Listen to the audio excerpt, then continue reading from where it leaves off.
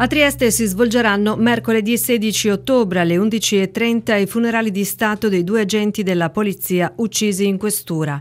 La cerimonia si terrà nella chiesa di Sant'Antonio Taumaturgo in piazza Sant'Antonio Nuovo e sarà officiata dal vescovo. Martedì 15 ottobre sarà aperta la Camera Ardente a partire dalle ore 17 sarà allestita all'interno della questura. Intanto continuano gli omaggi da parte di una moltitudine di persone che arrivano sul posto con un fiore o una preghiera. I volti sorridenti di Matteo De Menego e Pierluigi Rotta, ripresi in un video affettuoso durante il lavoro, rimangono nei cuori della maggior parte delle persone che continuano a chiedersi come sia potuta accadere una tragedia simile.